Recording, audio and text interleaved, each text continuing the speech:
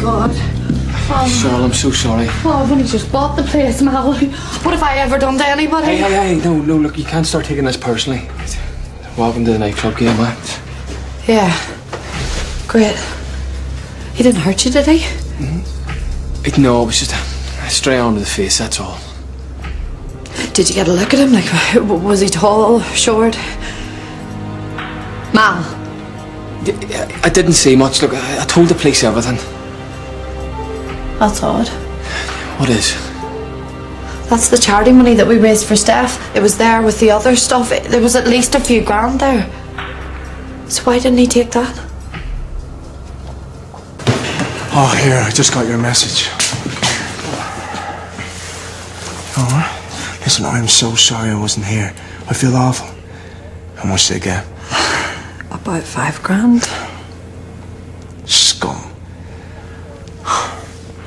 But you're insured, right? I mean, you, you'll get all back? Once the police report's filed.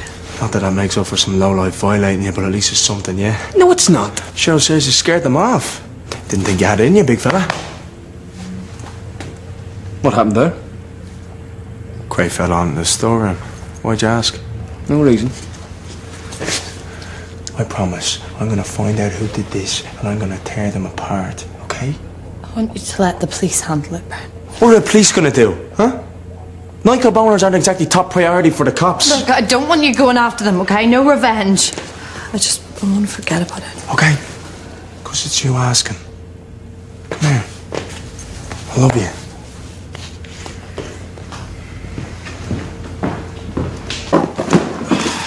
That's them.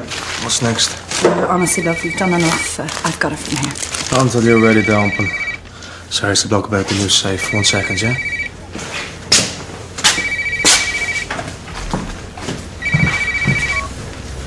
Patience is a virtue, my dear. Yeah, I got your money. But you're gonna have to wait. I know I did. But I'm changing the deal. Uh, Cheryl, um, I need to tell you something. Any minute, Tom. Yeah, but it's about the burglary. There's something about the person that I recognise. His voice.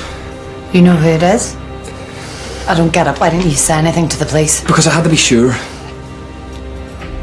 Well, Right, before I tell you, look, you're going to go off the deep end, so just, just promise you'll hear me out, okay?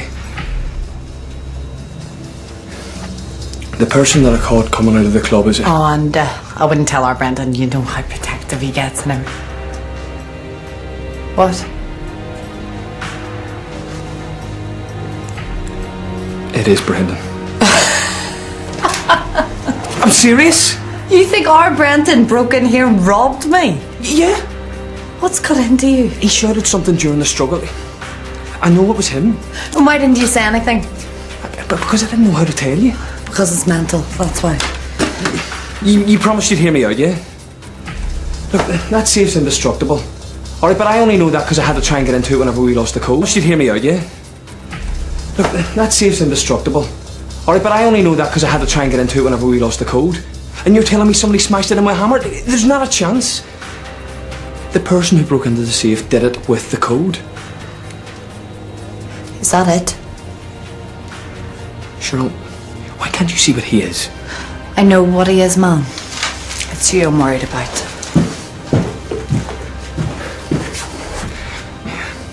Well, I get proof.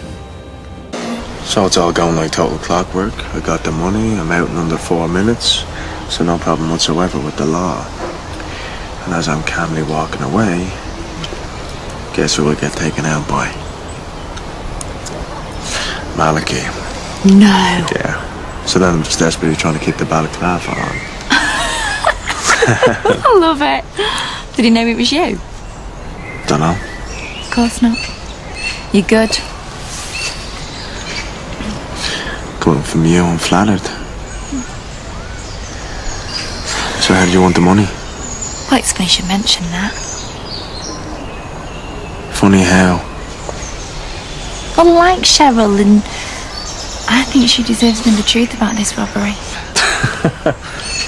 and now I know that you're the kind of brother that'll steal from his own sister to ensure that his secrets stay secret. Well, I think I'm gonna have to confess to Malachy. You're some piece of work, do you know that? I think we have to double the money. Double.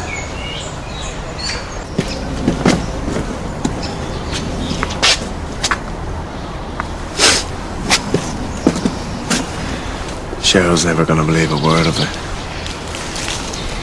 You're getting greedy now. She likes me. Not a chance.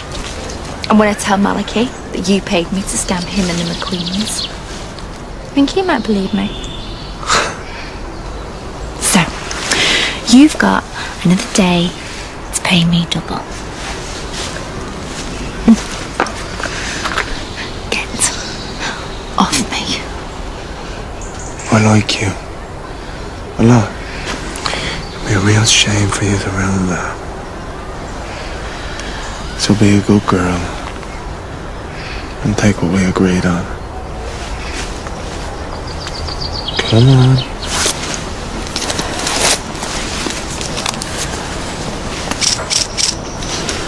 Go buy yourself something nice, yeah?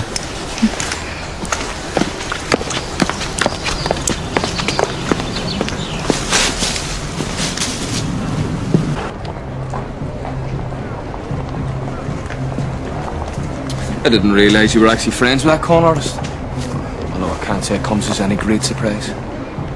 What are you on about? Well, that little chat you two were having seemed to get quite heated. Business. Isn't it always, Brendan? Seemed to be a fair amount of cash you were giving her. I Don't know what you're talking about, mate. Yeah, see, I figured that's what you'd say. Which is exactly why I took a photo of you on my phone. Yeah, the clarity and detail you can get in these things. It's amazing technology, yeah? Now let me just think. Where would you have got your hands on that amount of cash, yeah? You got something to say. Just say it. You know that's not going to work with me, Brendan. We both know I'm as strong as you are. Remember that we tussle we had? When was it? Oh, yeah. Just after you broke into the club. Even if I had, which is obviously a complete fantasy. What proof have you got? A photo of me talking to someone? Yeah, you're right. I can't prove it.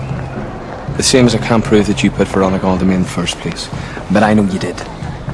See, I'm not surprised you're looking for someone to blame on that. Must have been very humiliating for you. Why don't you watch who you're talking to? You see, the thing you're forgetting, Brendan, is that the type of man who would steal from his own family is bound to trip up eventually.